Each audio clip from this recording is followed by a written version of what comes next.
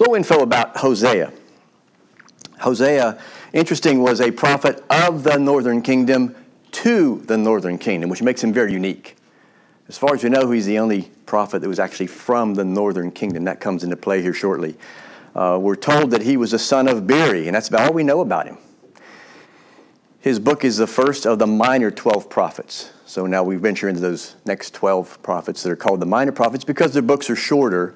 And according to the Jewish tradition, he is the earliest of the prophets, although Joel and Amos may argue with that. They're all pretty much the same time period. He prophesied during the reigns of Uzziah. This is right in the text, too. Uzziah, Jotham, Ahaz, and Hezekiah, kings of Judah, and during the days of Jeroboam, who was the king of Israel.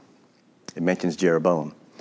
And most likely began his ministry near the end of the reign of Jeroboam, who reigned from 793 to 753 BC. So he's 8th century, uh, mid, mid, mid 8th century. And from the dates given, he was contemporary with Amos. So we do know that about Amos. Don't know much about Joel.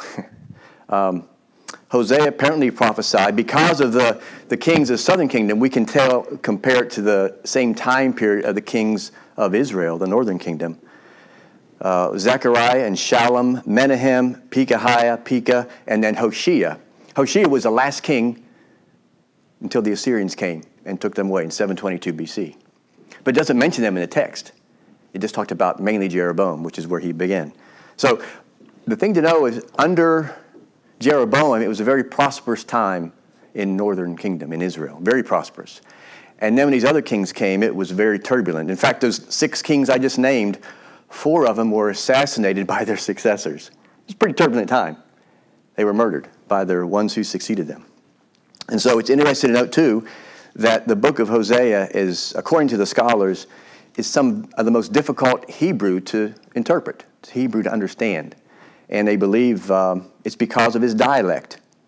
Now, he didn't speak it, it's because of his written word. So, you know, we think about dialect, I always go to Matthew's gospel when Peter was in the courtyard and Christ was on trial before the Jewish leaders, and the woman came to him and said, I know you're one of them because your accent gives you away. So he had the accent of the northern kingdom. Evidently, it was in the writing too, maybe to some of the things that he wrote. And so there wasn't much familiarity initially with northern Israelite Hebrew, but evidently that became a problem. They figured it out, um, but it made it difficult. One of the other things that's interesting about Hosea is the book's genre. Uh, aside from some of the narratives in the first three chapters, the rest of it's poetic. But if you remember when we looked at Proverbs, we talked about parallelism, and we gave all the examples of different types of parallelism. They don't find that in Hosea. And so it's a different type of of poetry, not like traditional Hebrew poetry. And because of that, they actually have called Hosea. They're somewhere between poetry and prose, and they call it exalted prose. That's how they technically classify the book of Hosea. So let's look at then an outline. It's a pretty simple outline. Um, the first three chapters, this is what Hosea is most known for. Chapters 1 through 3, Hosea's marriage to Gomer reflects God's relationship to Israel and we have Hosea's wife and the three children. We'll talk about that. The Lord's marriage to Israel, and then Hosea's marriage in chapter 3 is restored. He's told to go back and get her again. And chapters 4 through 11 is the indictment against Israel. Israel's broken the covenant. They have political failures, chapters 5 through 7. Religious failures, chapters 8 and 9. Israel failed to live up to its calling of the covenant. And then, chapter 11, a little glimmer of sunshine there, a little light at the end of the tunnel, God's unfailing love. The prophet talks about that. And then the last three chapters, 12 to 14, is the imminent fall of Israel. Okay? So they had their sin listed, talked about, and then they're going to fall. And so, chapter 12, Israel's history of rebellion. Chapter 13, Israel's punishment for being unfaithful. And then finally, the final chapter, uh, we'll go this a little more depth later. Israel's call to repentance and restoration. So, like the prophets before him, he does have that word where he's going to come out and talk about a future when there's going to be a people that are redeemed by a coming Messiah. And so, as we look at that, um, how that's broken down, let's look at some of the major themes and content of Hosea. This is where we get into the meat of what's discussed here. And of course, the first theme would inevitably be Hosea's marriage and God's relationship to Israel. And we look at this, uh, the central theme is Israel's breaking of the covenant with God that he established them when he brought them out of Egypt. The covenant that was made at Mount Sinai. And the language the prophet uses reflects the love of God for his people alongside their idolatry. So if we look at uh, chapter 9, there's a few passages I'm going to read here because it's very interesting. In chapter 9, looking at verses 10 and then over in chapter 11. So, chapter 9, verse 10, the Lord speaking through the prophet says, Like grapes in the wilderness, I found Israel. Like the first fruit on the fig tree in its first season, I saw your fathers. But they came to Baal Peor and consecrated themselves to the thing of shame and became detestable like the thing they loved. So he's telling them, I loved you, but you betrayed me. That's what he's saying. And then over to verse 11, uh, chapter 11, verses 1 and 2. When Israel was a child, I loved him, and out of Egypt I called my son. The more they were called, the more they went away. They kept sacrificing to the Baals and burning offerings to idols. And of course, you've heard that verse about out of Egypt I called my son in the New Testament talking about Christ, another, another uh, call of God to the Messiah who was in Egypt to escape Herod. We know that from Matthew's gospel. So, Scripture is very interesting talking about that. So, the people fell into terrible sin and they violated the covenant of God. And so, what Hosea does in chapter 4, he describes in great detail they violated the commandments, particularly, they became idol worshippers when they became prosperous. Under King Jeroboam, great prosperity during his early reign, particularly, and they began to accumulate wealth. And when they got that way, we might say fat and lazy, they began to, what do we need God for? And so they turned to idols, uh, the idols of the nations around them. Look at chapter 4, verses 7 through 13. The more they increased, the more they sinned against me. I will change their glory into shame. They feed on the sin of my people. They are greedy for their iniquity, and it shall be like people, like priests. I will punish them for their ways and repay them for their deeds. They shall eat, but not be satisfied. They shall play the whore, but not multiply, because they've forsaken the Lord to cherish whoredom, wine, and new wine, which take away the understanding. My people inquire of a piece of wood, and their walking staff gives them oracles. For a spirit of whoredom has led them astray, and they have left their God to play the whore. We hear that term over and over again. And in verse 13, they sacrifice on the tops of the mountains, they burn offerings to the hills, under oak, poplar, and terebinth, because their shade is good. Therefore, your daughters play the whore, and your brides commit adultery. The sin of idolatry, the sin of adultery. And for these reasons, God uses that imagery of the covenant of marriage to demonstrate to the people the wickedness of these sins. Um, as I said earlier, the act which Hosea is most noted for, God instructs him in chapter 1. Listen to the language here, and it's right there in your text. Go, take to yourself a wife of whoredom, and have children of whoredom, for the land commits great whoredom by forsaking the Lord. Think he's trying to make a point? So, he went and took Gomer, the wife, the daughter of Diblaim, and she conceived and bore a son. So, how hurtful is this to God, this, this so called whoredom? It violates the first commandment have no other gods before me. It violates the second commandment do not make for yourself a graven image. And they're worshiping idols. And God was hurt by that, angry by that, and they were going to pay the penalty for that. Right? They had, they had forsaken him. There's one question that's been asked through the centuries, and that is this The woman he was told to marry, Gomer, was she a harlot before he married her, or did she become unfaithful after he married her? We just don't know. But the point is simply he was using that as a metaphor, saying that um, she is made to represent the nation of Israel and their relationship to the Lord. They're the ones that abandoned the covenant. So then we talk about three children. He said, Have children of whoredom. So the first child is a son. And he says, Name him Jezreel. Now, this takes us back to the book of Second Kings. Remember the king Jehu? And Jehu was anointed to destroy the house of Ahab because he was so wicked. And so in Jezreel, he carried out these bloody attacks and he killed dozens upon dozens of the family of Ahab and wiped them out. And so, what God's saying through the prophet in this is that um, retribution, you know, the time of punishment has come, and you will pay the price, just like in Jezreel. The second child's a daughter, said, Name her Lo Rahama. And Lo is uh, the Hebrew word for no or not. All right, so it means no more mercy for Israel. No more mercy, Lo Ruhamah. And then the third child, a son, name him Lo Ami, which means basically, you're not my people any longer, and I'm not your God. That's pretty, pretty graphic. You're not my people, I'm not your God. But even in the midst of that judgment and chastisement, there's words of future restoration. Look there, right below that, in, in chapter 1, verses 10 and 11 in the midst of these judgment and naming these children, these things that are going to come upon the nation, he says this Yet the number of the children of Israel shall be like the sand of the sea, which cannot be measured or numbered. And in a place where it was said of them, You are not my people, it shall be said to them, Children of the living God. And the children of Judah and the children of Israel shall be gathered together, and they shall appoint for themselves one head, and they shall go up from the land for great shall be the day of Jezreel.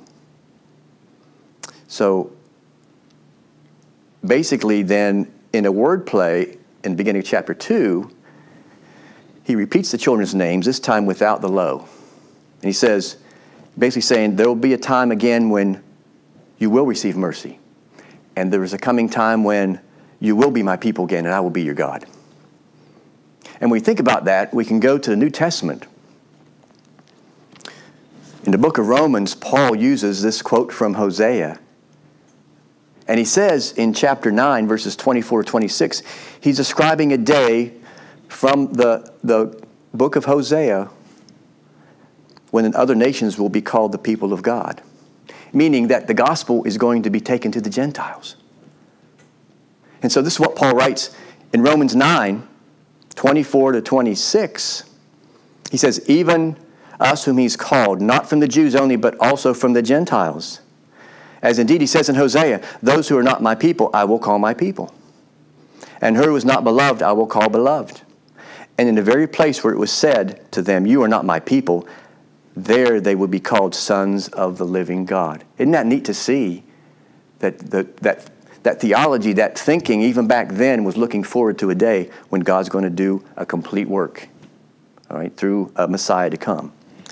So, chapter 3 then, still in this, this marriage metaphor that we're looking at, Hosea is told to go and buy back his unfaithful wife, to buy her back.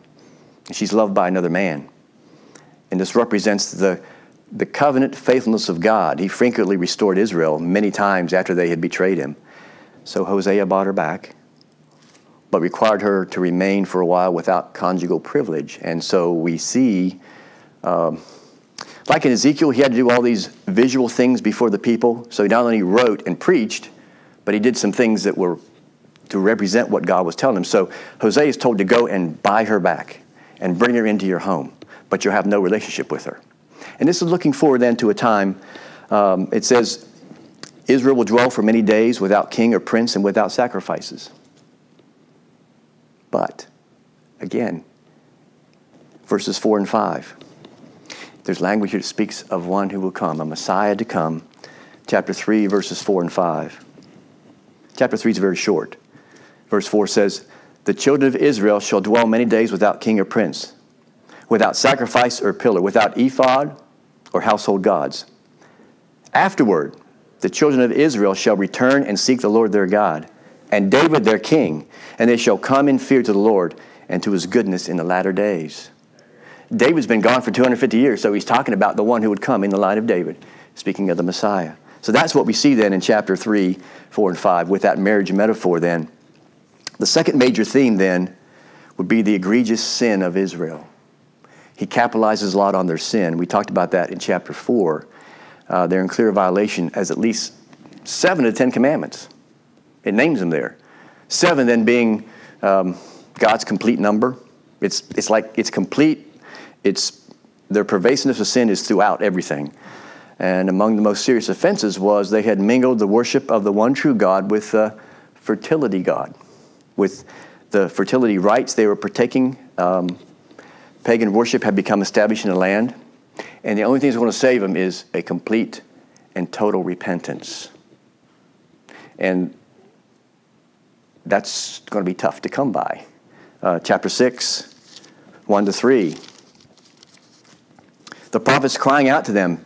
He says, Come, let us return to the Lord. He has torn us that he may heal us. He has struck us down, and he will bind us up.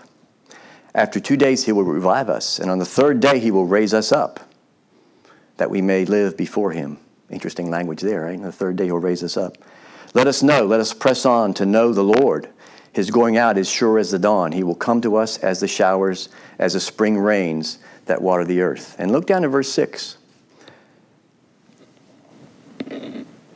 prophet says this, and this is quoted often in the New Testament, we'll look at shortly. It says, For I desire steadfast love, which the Hebrew word hesed, steadfast love or mercy, and not sacrifice, the knowledge of God rather than burnt offerings.